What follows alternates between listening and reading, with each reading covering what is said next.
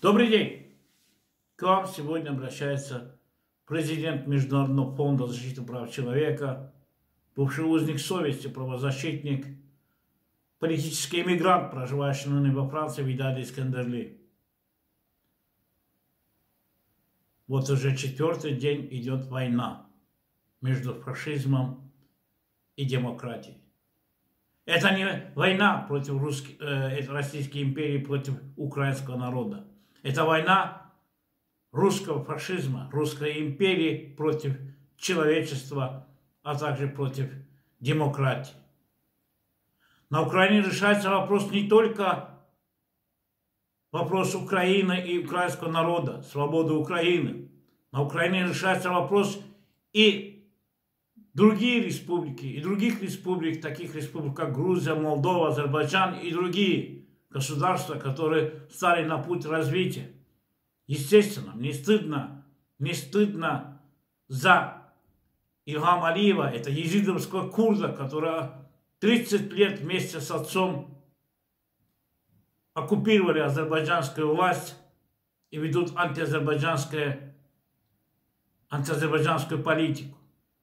22 числа, когда Русская империя незаконно признала Донецкую Народную Республику, в кавычках, и Луганскую Народную Республику, также был договор заключен с президентом, в кавычках, Азербайджана, этим негодяем, этим сволочем Илхамом Алиевым, который является антиазербайджанским элементом.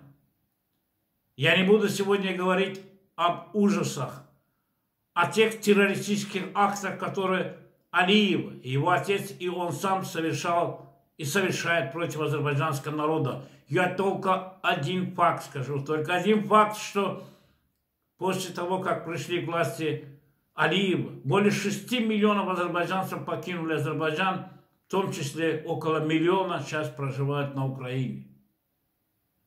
Да, не стыдно, не стыдно, что президент Азербайджана Ильхам Алиев подписал договор о сотрудничестве с Россией и практически предал азербайджанское государство, азербайджанская государственность, азербайджанский народ предал и стал губернией Российской империи. Но азербайджанский народ не будет этим соглашаться и будет бороться до конца. 90-е годы точно так Российская империя вместе с армянскими сепаратистами захватили более 25% территории Азербайджана. Российская империя уничтожил более 300 тысяч чеченцев. Я обращаюсь к Кадырову. 300 тысяч чеченцев не украинцы убивали. Украинцы воевали вместе с чеченским народом против русской империи. А вы теперь посылаете туда чеченцев воевать.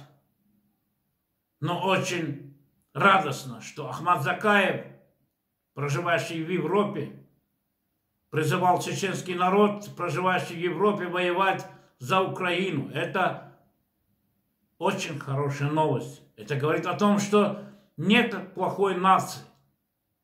Есть плохие политики.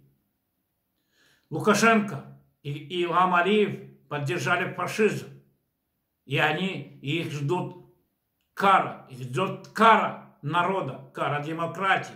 Сегодня в Америке, в Евросоюзе, в Европарламенте и во всех демократических государствах приняты санкции против русского режима. Российская империя распадет, я вам даю слово, Российская империя распадет на мелкие части, и тогда народ Азербайджана, народ Грузии, народ Молдовы, народ Казахстана и другие народы станут на действительный путь развития правового государства. Я обращаюсь к украинскому народу. Спасибо вам, хлопцы.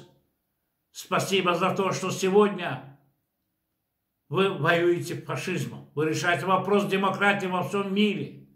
И очень радостно, что в рядах украинского добровольцев есть и азербайджанцы. Более 200 азербайджанцев воюют на стороне украинского народа против фашизма.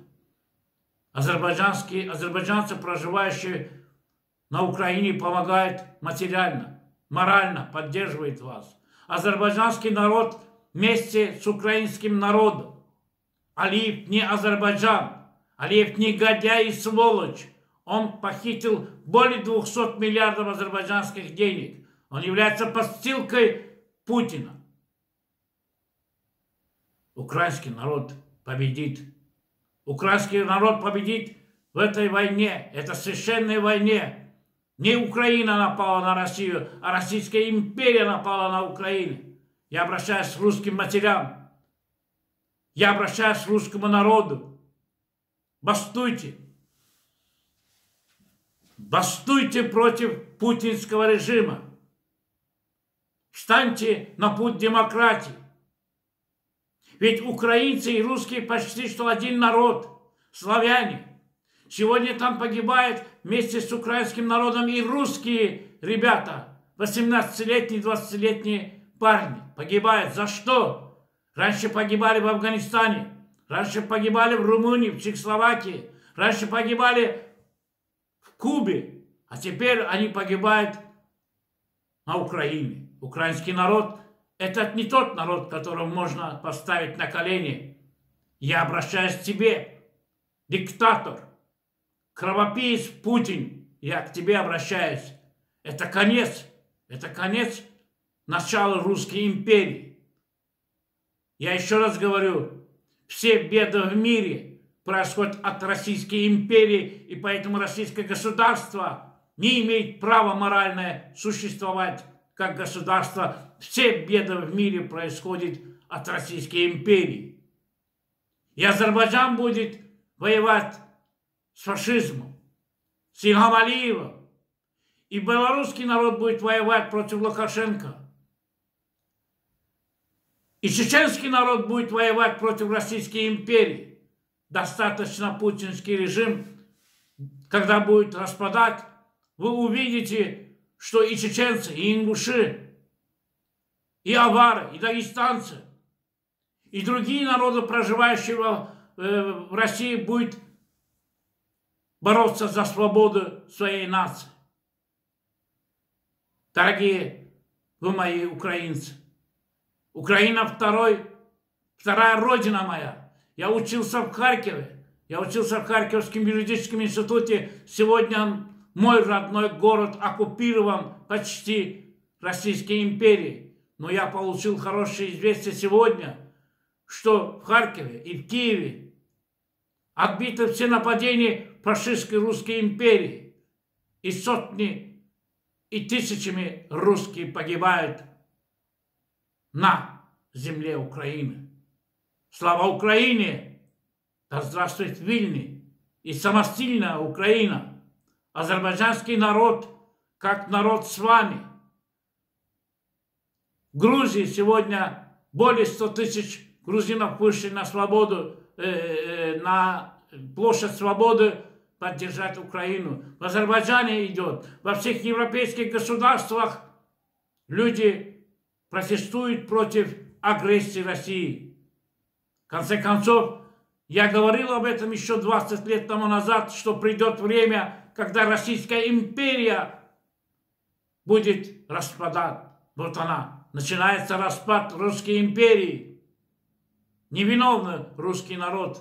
Русский народ невиновен в этом. Виноваты имперские мыс мыслящие Путина, Лавровы, Шойгу и другие. Я только один факт вам скажу, что за последние 30 лет режим Алиева заплатил им качестве взяток более 100 миллиардов долларов. Сегодня Баку-Новороссийский нефтяной провод идет в карман Роснефти, который является собственностью Путина. У Путина более 250 миллиардов денег, которые он похитил у русского народа. Русский народ должен понять, русский народ мудрый народ. Не дайте, не дайте возможность Путину ради своих интересов напасть на суверенное государство. Сегодня я посмотрел выступление этого негодяя, этого диктатора Путина. Он говорит о государственности. Украина является самостильным государством. Какое ты имеешь право напасть на суверенное государство? Я еще раз повторюсь, это не нападение на Украину, это нападение на демократию. Идет война между фашизмом и демократией, и демократия обязательно победит. Да здравствует украинский народ, да здравствует все прогрессивное человечество, которое поддерживает Украину. Украина победит. Если даже России удастся оккупировать Киев и другие города, я знаю, что столетиями там будет идти война, партизанская война. Но этого не будет. Россия уже потерпела крах, интерес, э, крах на Украине. Дорогие вы мои товарищи, дорогие вы мои друзья, не видит ли весь мир, что Россия является крестным отцом всех авторитарных режимов. И я уверяю вас, что победа украинского народа – это начало великой политики, демократии.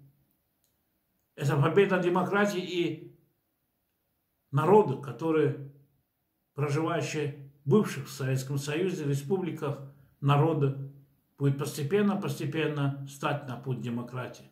Не дает возможность. Суть Российской империи заключается в том, чтобы создать междуусобные войны, межнациональные войны. Они создали между армянами азербайджанскими, азербайджанцами еще в начале 20 века и 80-е годы. И сейчас сеют вражду между армянами и азербайджанцами, сеют вражду между грузинами, абхазами, грузинами, осетинами, молдаванами, русскими, украинцами и другими. По сути, это имперское мышление. Я поэтому говорю о том, что Российская империя, когда исчезнет с лица земли, как империя, мир будет дышать вольно и свободно. Да здравствует вильная, свободная Украина. Слава Украине! Слава Украине! Слава Украине!